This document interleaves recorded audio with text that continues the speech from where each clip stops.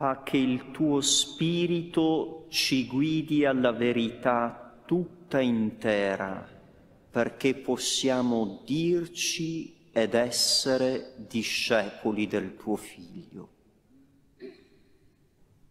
Cari fratelli e sorelle, così abbiamo chiesto nell'orazione di colletta di questa celebrazione eucaristica di dirci ed essere discepoli del Figlio. E il brano del Vangelo che poc'anzi è stato proclamato, penso, dica a noi cosa significa essere discepoli di Gesù. Gesù chiede ai suoi discepoli, la gente, chi dice che sia lui, ma poi chiede ai suoi discepoli, voi chi dite che io sia?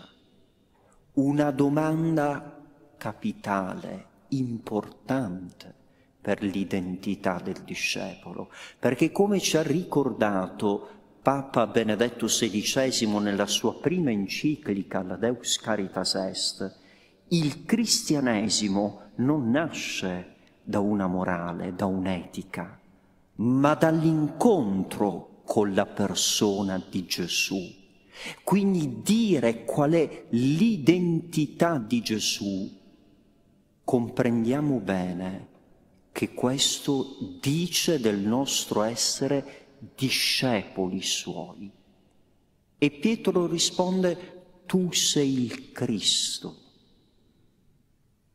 Ma Pietro non comprende a fondo l'affermazione che fa, perché lui pensa che il Cristo, il Messia di Dio, è colui che trionferà, ma Gesù immediatamente smonta quello che Pietro pensa e dice che il figlio dell'uomo, lui deve soffrire morire e risorgere. Dice del suo mistero pasquale, quello che vivrà a Gerusalemme. Ma Pietro non comprende questo. E Gesù utilizza una espressione molto forte nei confronti di Pietro. Satana va dietro a me perché tu non pensi secondo Dio, ma secondo gli uomini.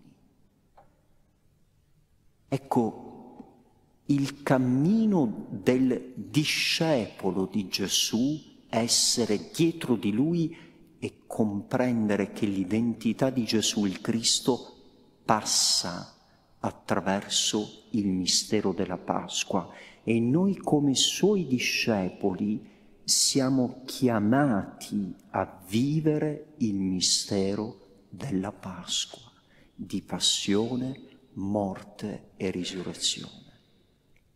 Allora chiediamo in questa celebrazione eucaristica, per intercessione di Francesco, che si è posto la domanda, chi sei tu e chi sono io, chiediamo proprio di scoprire la vera identità della persona di Gesù e di essere e dirci suoi discepoli.